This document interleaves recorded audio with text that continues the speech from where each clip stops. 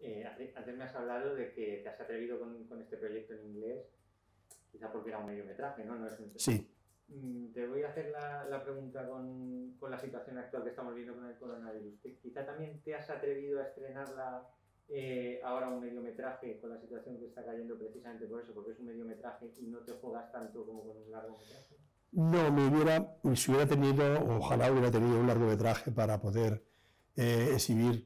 Eh, no, justamente me alegra mucho, primeramente por lo insólito que es que un mediometraje eh, se exhiba en cines, en salas, que es el lugar donde tiene que, donde tiene que verse el cine. pero no, me alegro mucho que en estos tiempos tan sombríos y tan turbulentos, poder, poder ofrecerle a la gente una ficción que le sirva para entretenerse, para olvidarse del infierno en el que estamos viviendo con esta pandemia y, para, y, para, no, no, para que la gente vaya al cine.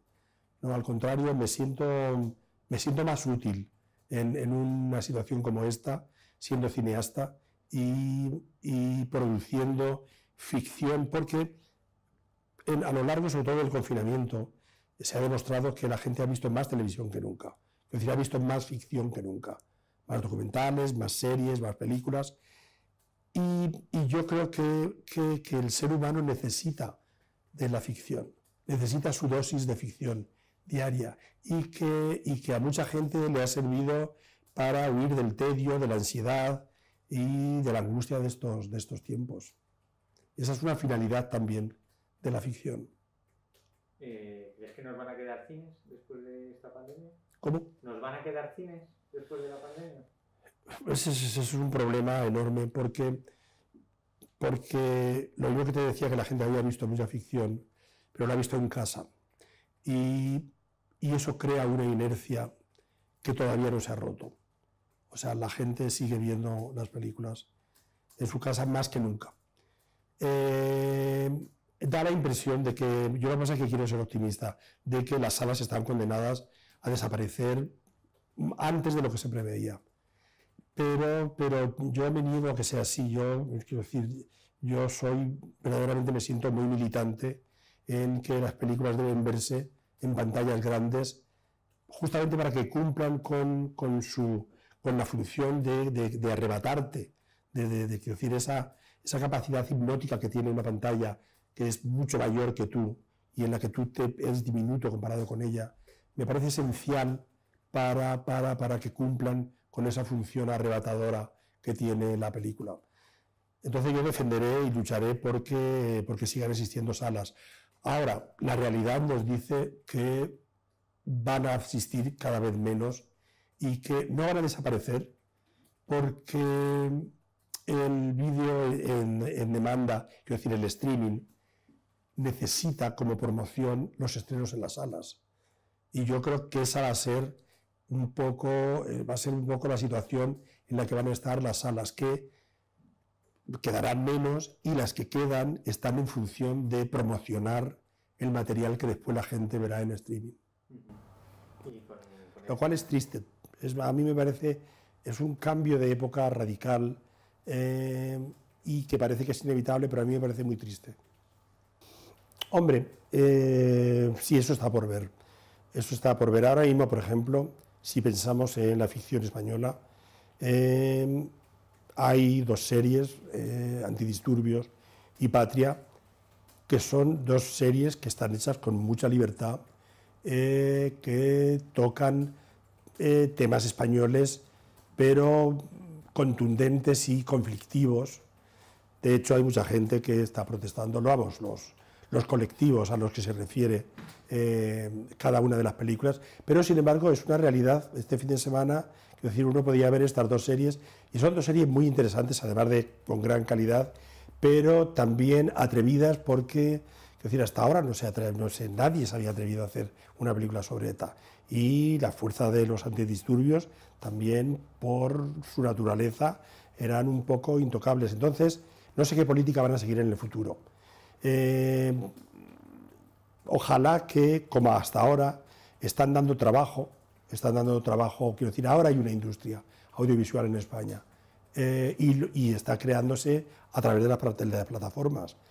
Eh, entonces, hombre, el cine que se hace, si se hace exclusivamente para televisión, a mí sí me parece peligroso que, tenga un aire televisivo, que tenga una narración que tiene que ver con la televisión eh, y no con el cine. A mí sí me parece que existe ese peligro. En el caso ahora mismo de las series, yo creo que, por ejemplo, las series españolas, como te estaba diciendo, creo que están hechas con, con medios y con libertad y que además son productos que pueden interesar en el mundo entero.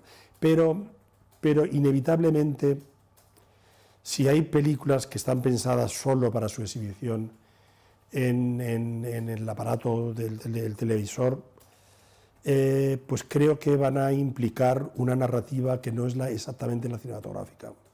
Y ese es un peligro también, un peligro inminente, porque todo eso ya está ocurriendo. Entiendo por lo que me has dicho que, te ha gustado Patria. Yo no sé si en, Me han gustado las dos mucho. Sí, en también, pero yo no sé si en algún momento em, te llegaste a plantear hacer una película con, con el contexto de ETA. No, em, no porque no, no soy de allí, no lo he vivido, pero, pero pensando en el libro, que es el origen de la serie, sí que me hubiera gustado dirigir algún capítulo de esa serie, eh, porque el material dramático del, que propone el libro es un verdadero tesoro. Eh, ¿Cómo es un rodaje pandémico? Pues, pues es un rodaje es, muy incómodo porque tenemos que estar... Eh, yo he dirigido con mascarilla y y es muy incómodo para la hora de, expresarte. Eh, ya me he acostumbrado realmente, pero teníamos muchos controles eh, para que no hubiera ningún infectado dentro del equipo. Entonces, es un rodaje más incómodo, más incómodo del normal, pero como te digo, hay que, no nos queda más remedio que adaptarnos y seguir. Yo creo que, o sea, que la situación no nos puede poder, que no nos puede, digo, no puede ser superior a nosotros. Eh, y, por ejemplo, eh, pues que si no, el, año que viene no va a haber películas para películas españolas. Ya sabemos que las americanas tienen otra política de estrenos, desgraciadamente, porque también ellos yo creo que son responsables de, de los vacíos que hay en las salas ahora mismo. El hecho de que hayan quitado, de, que no programen ninguna, ningún blockbuster para dejarlo, no sé para cuándo, porque además no sabemos tampoco cuándo va a pasar esto. la última. Eh, eh, es verdad que tú ahora estás rodando en Madrid. Eh, es verdad que mm, has estado fuera de España, vienes aquí de vez en cuando. ¿Cómo estás viviendo todo esto de, la pandemia? No sé si, si, ves quizás el país o, Madrid más triste y, y, si se está usando, crees que se está usando esto políticamente, sea de un, de un lado o de otro, que luego nos puede venir peor. Pues yo lo estoy viviendo, o sea, yo me está, el trabajo me está sirviendo de evasión. En este caso, eh, trabajar para mí es una especie de huida hacia adelante.